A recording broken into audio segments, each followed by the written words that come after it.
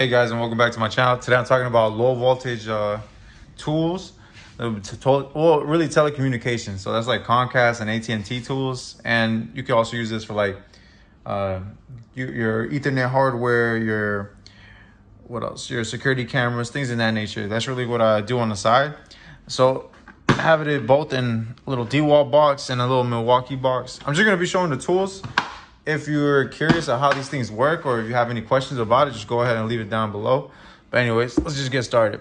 So the top one on the Milwaukee box, since it's small, I put like all the little things that I feel like I'm gonna grab at more often or go ahead and use more often when I'm out in the field. Anyway, so I, I go ahead and carry this right here, this little small little bit set, a little screwdriver set. So the reason why I use that is because usually I'm installing cameras and when I install cameras, I don't know whether I need an Allen wrench or if I need a, a some some sort of screw tip, you know, sometimes a star, random bits, you know. Anyway, so I carry this just because it usually has it. And since it's so small, I go ahead and put it in my pouches on my back, my back pocket. And it comes in handy just to adjust these uh, cameras. Uh, another thing I have in here is a little snake. So this snake really comes in handy whenever you're running cables from the outside in because yeah, a lot of times you can't reach those small corners, or you just for whatever reason you just can't get to the end of the the edge of the house in the attic. So what you do is you go ahead and feed this from the inside or from the outside inside. Have a little string attached, and then you can go ahead and just grab that with a a fishing uh, a fishing rod.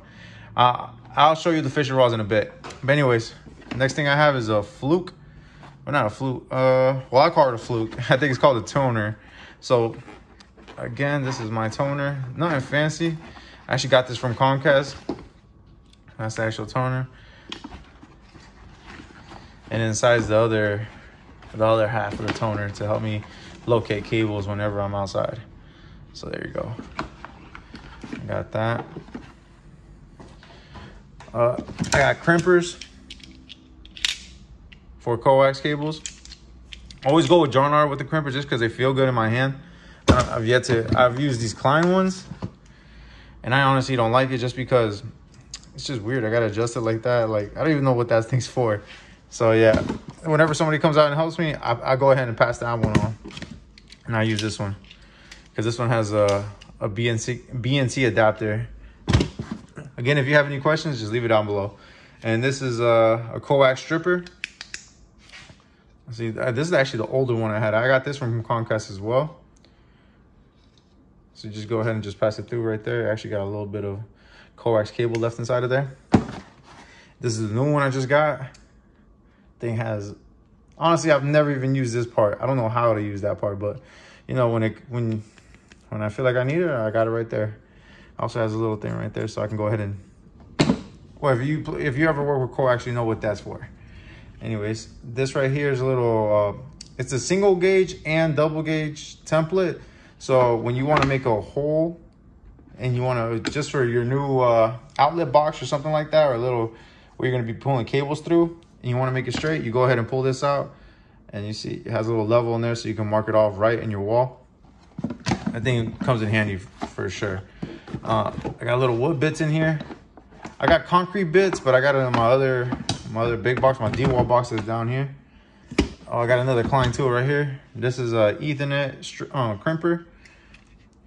So let's see, I got for uh, for regular Ethernet cords and telephone lines.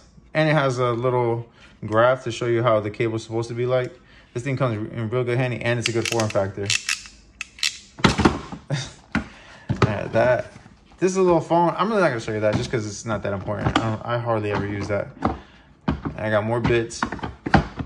But yeah, this is really your basics. This is really what you would, uh, if you're just deciding to get into like Comcast or if you want to work in uh, AT&T, or AT&T would be a little bit different. I think they use fiber optic, so you would have to get fiber optic tools. But if you want to work with Comcast, this is all you really need. Or if you want to install cameras, or if you want to go work for a low voltage company, you can go ahead and get some of these tools and you already be a little bit ahead of everybody else. Not ahead, but at least up there. You got your own tools that you need. Now the next one, I'm just gonna pop it open just so you can see what I have. I'm just gonna pop this one open just so you get an idea.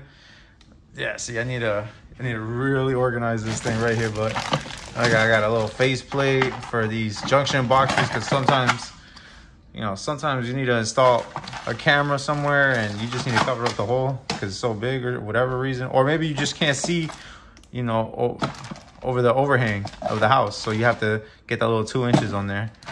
Uh, this thing comes in handy. Definitely need some pulling line. Everybody figures out I'm actually gonna stop using PVC. I'm gonna start going. I don't even. I don't think this thing. This thing is called PVC. Uh, anyways, I, I, don't think I'm gonna use this anymore. I'm gonna go straight metal. I just got the the bend bar, so I'm gonna try that out. And I just got little little little screwdrivers here and there that come in handy. You'd be surprised how much this would come in handy. This this little flathead screwdriver that's just long, and this piece right here so I can go inside of a wall and just pull out the coax or ethernet cable, whatever I have in there. And then I got just random things in here. I gotta really organize this. Another junction box. Uh, anyways, yep, I got, that's a big old mess I got in there. I got these two right here, my Milwaukee pack out box. And my last box that I'm gonna be showing you is a Husky box. And this thing is really beat up, really dirty because I just throw this thing in and out the truck all the time so yeah, I got little conduit, um, conduit clamps. I got little cable holders. I got more clamps, some more cable holders. These things really come in handy, honestly. And if not for the actual cable holder, but for sometimes I just use it for the, the screw. Oh, look, see, I got one of these too, because these things always come in handy. Barrels, I got a short barrel right now on my gun, but you know, and the other side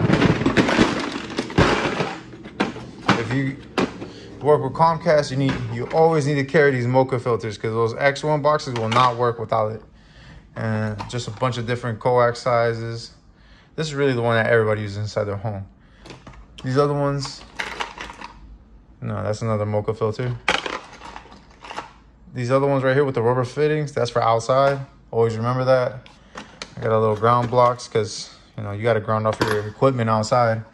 I thought I had some Ethernet um, jacks here, but I apparently I don't. But yeah, that's uh, that's really all it is. When you want to work in telecommunications or low voltage, you go ahead and get yourself some of these tools. Look at my other video, I showed you all you really need is a bucket, a screw gun, tape measure, maybe some snips. Telecommunications obviously obviously it has its own needs, but yeah, if you have any questions, please let me know. If you if you like what you saw, please let me know. Uh, like and subscribe. If you know me, leave a comment down below too. And yeah, stay tuned for the next video.